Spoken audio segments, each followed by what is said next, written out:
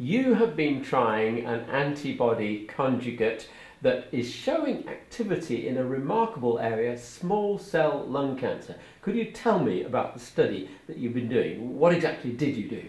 Well, this was a phase one study where we included patients with small cell lung cancer who had relapsed or progressed after having had received one or two prior lines of therapy.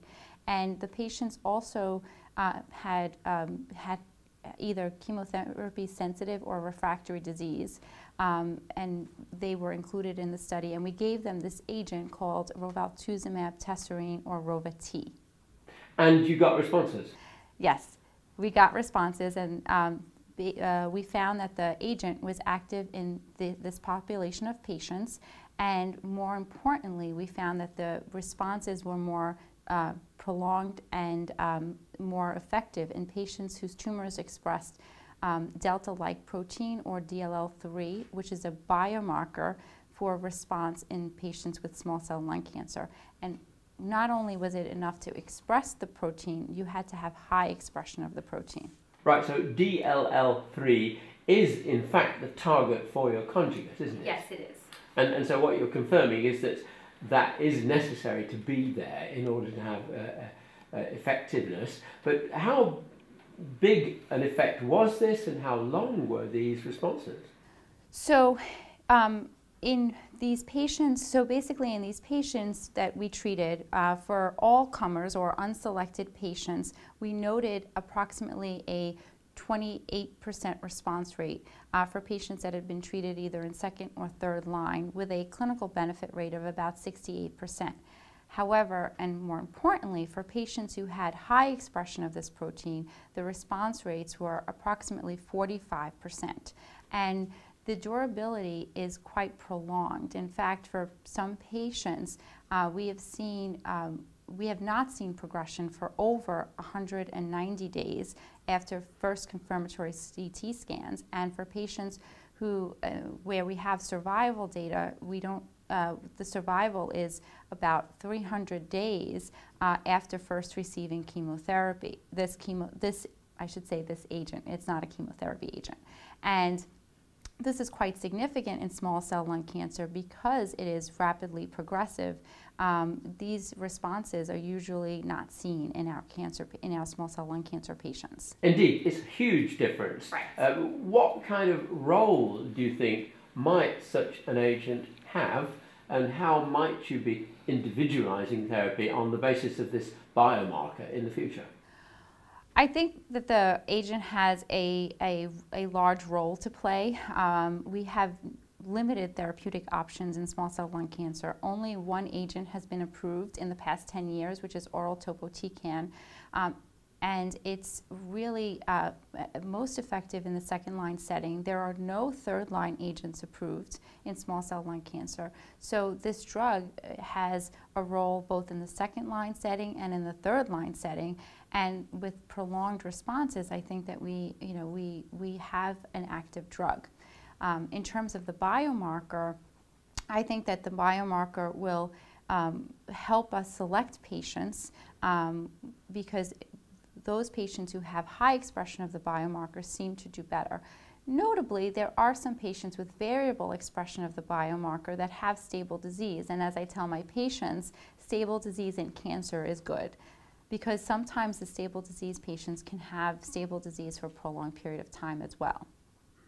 So, so how do you see this being used? For instance, could Rova-T be used earlier in the disease, perhaps even in primary therapy? That's a very good question. We are developing trials at, in various lines of therapy um, because, you know, one of the one of the um, the implications of the drug is that it might be targeting tumor initiating cells or tumor resistant cells uh, in small cell lung cancer. And so basically, um, so basically, if we can get at those cells earlier in the disease state, we might have more prolonged responses. So there are studies being developed along all lines of therapy. Could you, in theory, use it concurrently with uh, chemotherapy because it, has got toxicity only locally, hasn't it? So, well, that's a good question. Uh, one of the, so some of the toxicities Um, we have seen toxicities that are, that are similar to chemotherapy, such as fatigue. There's some thrombocytopenia and some anemia. Um, it could, in theory, be used with chemotherapy. We still have to do the, the early phase trials, though. It is encouraging, though, isn't it, to see an agent that is extending life in small cell lung cancer. How do you think doctors should be viewing this development right now? It is encouraging. Uh, we, as I said before, we don't have very good agents in this disease. We don't have agents that are really extending life in this disease. Um, so this is really um, an effective agent. Uh, we have to continue to learn how to give it.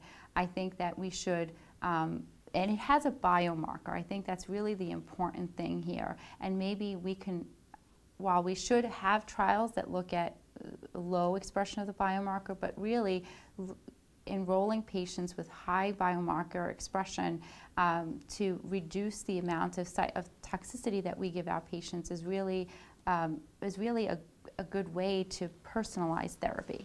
Does it open up the possibility of, of, a new approach to small cell lung cancer, perhaps looking for other targets, well, other biomarkers? Well, yes. And so uh, this is a disease where this is a disease that has, is characterized by multiple mutations and multiple aberrations. And many of these, for many reasons, could not be targeted. And many of my colleagues who have preceded me have tried, and there, they, there are no targeted agents that have had therapeutic benefit in this disease.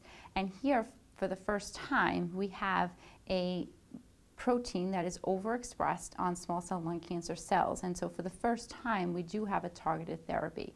And so what we can begin to do is is obtain a tissue for staining and this is not you know this is not a mutated protein this is a protein that's overexpressed on the small cell lung cancer cells and it's just a modality for the agent for the ADC to enter the cell to release its cytotoxic agent and cause a DNA cross-links and cytotoxicity.